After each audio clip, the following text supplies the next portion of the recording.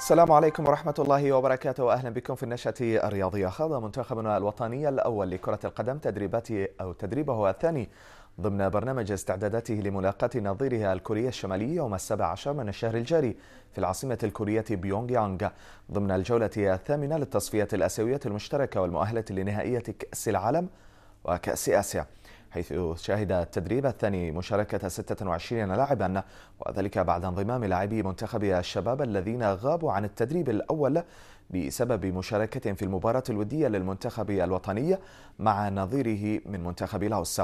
كما شهد التدريب تواجد اللاعب المحترف عبد الله عمر.